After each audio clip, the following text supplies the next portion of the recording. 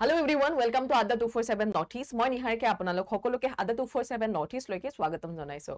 চ' আপোনালোকৰ কাৰণেতো ভাল খবৰটো হয়তো গমেই পাইছে যে এ পি এছ চি ৰিক্ৰুইটমেণ্টৰ আণ্ডাৰত যিটো আমাৰ ছইল কনজাৰ্ভেশ্যন ৰেঞ্জাৰ চ' তাৰে মুঠ পদ ঠিক আছে? চ' মুঠ পদ টোটেল নাম্বাৰ অফ আমি যদি চাওঁ পষ্ট যে ষোল্লটা পদৰ মুকলি এখন নটিফিকেশ্যন আমাৰ মাজত আহি অলৰেডি আহি পৰিছে। হয়তো আপোনালোকে চাইছেও আৰু আপোনালোকৰ form fill up already start হৈ গৈছে ন জুলাইৰ পৰা।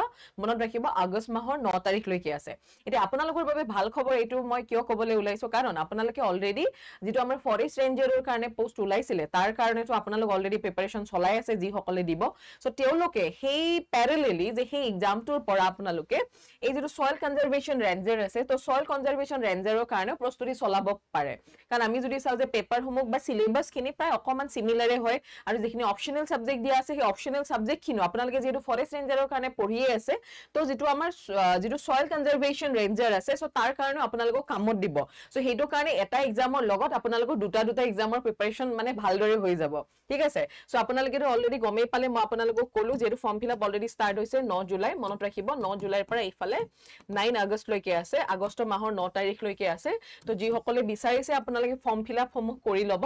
আৰু মহিলাসকলৰ কাৰণে ভাল খবৰ যে ওমেনৰ কাৰণে আপোনালোকে যদি চাই পাঁচটা পদ অলৰেডি ৰিজাৰ্ভ হৈ আছে ঠিক আছে?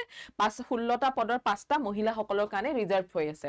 এতিয়া চাব এই যিখিনি ইয়াতে যে পোষ্ট আছে তো সেই পোষ্টখিনি আপোনালোকৰ ক'ব গ'লে যেনেকে ফৰেষ্ট ৰেঞ্জাৰৰ আপোনাৰ খালি ডিপাৰ্টমেণ্ট কেইটা বেলেগ হয় বাকী ৱৰ্ক ৰোল হওক বা আমাৰ যিটো আমাৰ চেলাৰী ষ্ট্ৰাকচাৰ হওক প্ৰায় চিমিলাৰে হয় দুইটা। যে ফৰেষ্ট ৰেঞ্জাৰ যেনেকুৱা হয় ছইল কনজাৰ্ভেশ্যন ৰেঞ্জাৰো প্ৰায় চিমিলাৰে হয়। তাৰে চিলেবাছসমূহো যদি আপোনালোকে চাবলৈ যায় যে চিলেবাছসমূহো প্ৰায় একে একেই ঠিক আছে খালি মনত ৰাখিব যিটো এলি যিটো আমাৰ এলিজিবিলিটি ক্ৰাইটেৰিয়া দিয়া আছে so' education qualification bachelor degree in science ঠিক আছে এইটো দেখিছে যে যিসকলে অৰ্থাৎ বি এছ চি আপোনালোকৰ গ্ৰেজুৱেশ্যন বি চি হ'ব লাগিব।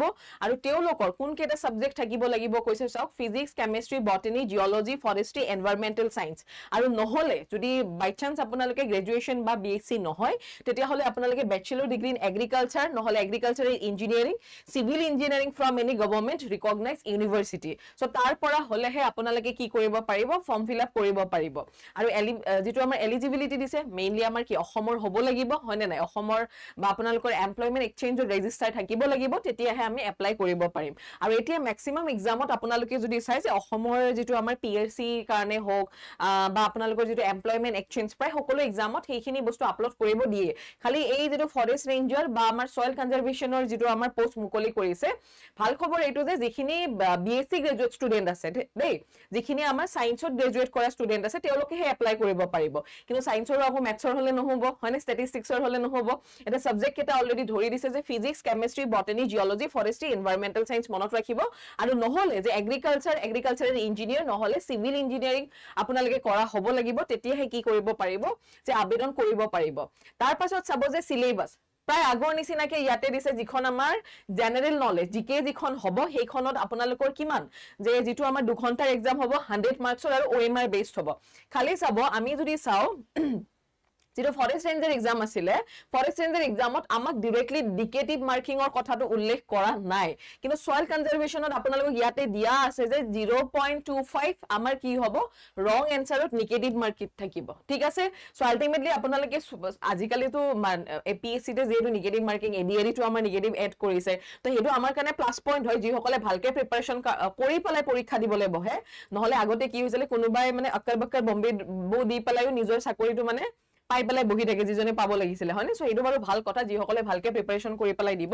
চ' মনত ৰাখিব অলৰেডি মেনশ্যন কৰি দিছে যে যিখন আমাৰ জি কে পেপাৰ হ'ব প্ৰথম যিখন দুঘণ্টাৰ হাণ্ড্ৰেড মাৰ্কছৰ তাতেও আমাৰ নিগেটিভ মাৰ্কিং থাকিব। এছ এ যিখন পেপাৰ হ'ব তাতেতো কোনো ধৰণৰ নিগেটিভ মাৰ্কিং নাহে। কিন্তু মনত ৰাখিব এইখন স্কৰিং পেপাৰ হয় চ' সকলোৱে এছ এখন ভালকে দিব। তাৰপিছত optional subject so' optional subject আপোনালোকে নিজে চুজ কৰিব পাৰিব। কিন্তু অপশ্যনেল ছাবজেক্ট ফৰেষ্ট ৰেঞ্জাৰত যিমানখিনি দিয়া আছিলে তাতকে কিন্তু ছইল কনজাৰ্ভেশ্যনত অকণমান অপশ্যনেল ছাবজেক্টৰ সংখ্যা কম। ঠিক আছে? তো অপশ্যনেল ছাবজেক্ট কেইখন আপোনালোকে নিজৰ মতে আগতে যেনেকে লৈছিলে ফৰেষ্ট ৰেঞ্জাৰত আপোনালোকে যিসমূহ লৈছে তাৰ লগত মিলাকৈ ল'ব যাতে এইটো এক্সামতো সহায় হৈ লয়। বেলেগ এখন ছাবজেক্ট লৈ নল'ব তেতিয়া পঢ়াত আপোনালোকৰ অসুবিধা হ'ব। এতিয়া অপশ্যনেল ছাবজেক্ট কি কি দিয়া আছে চাব? এগ্ৰিকালচাৰ আৰু এগ্ৰিকালচাৰ ইঞ্জিনিয়াৰিং অৰ হৰ্টিকালচাৰ আগতে চাব তাতে এগ্ৰিকালচাৰ আৰু হৰ্টিকালচাৰ আমাৰ বেলেগ বেলেগকে আছিলে কিন্তু ইয়াতে হয়তো এগ্ৰিকালচাৰ নহ'লে এগ্ৰিকালচাৰ ইঞ্জিনিয়াৰিং নহ'লে হৰ্টিকালচাৰ সেইটো এখনতে আহি যাব।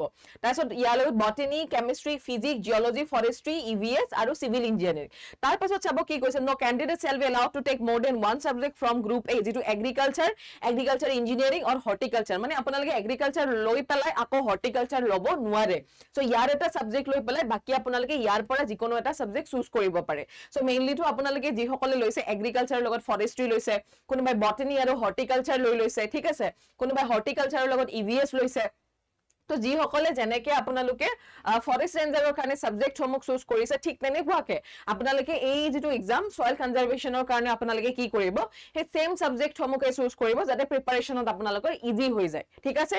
চ' সেইটো আপোনালোকৰ কাৰণে ভাল খবৰ। এতিয়া আপোনালোকে কেনেকে প্ৰিপাৰেশ্যন চলাব সেইটোৰ কাৰণে আমাৰ Adda two four seven north east এপত আপোনালোকে যদি যায় এটা ধুনীয়াকে বেটছ অলৰেডি ৰেডি কৰোৱা হৈছে। আপোনালোকে যিসকলে জইন কৰিব বিচাৰিছে বা প্ৰিপাৰেশ্যন চলাব বিচাৰিছে তো স্ক্ৰীনত যিটো নাম্বাৰ দেখাই আছে zero' eight one three double zero' four three two four seven তাতে আপোনালোকে কণ্টেক্ট কৰিব পাৰে নহ'লে আমাৰ মেইন এপটো ডাউনলোড কৰি পেলাইও আপোনালোকে বেটছটোত জইন হ'ব পাৰে।